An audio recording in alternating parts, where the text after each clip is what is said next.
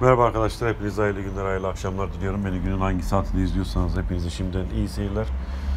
Daha önceki haberlerimizde bildiğiniz gibi Devlet Malzeme Ofisi RT Laboratuvarı'ndan birçok tanık kiti almıştı. Son olarak da 500 bin adet e, tanık kiti siparişi verdiğini e, duyurdu. E, haberin içine göre arkadaşlar şirketten konuyla ilgili, ile ilgili kapı yapılan açıklamada şu bilgiler verilmiş.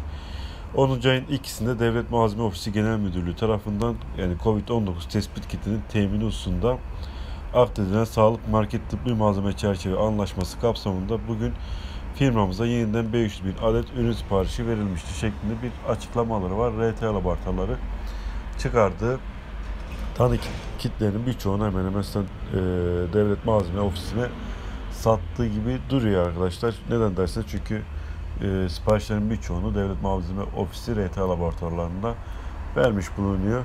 E, bu haberi de yayınlayalım dedik. Şayet böyle videoların gelmesini istiyorsanız kanalımı beğenip abone olmayı unutmayın. E, herkese bol kazançlar diliyorum. Allah yar ve yardımcınız olsun.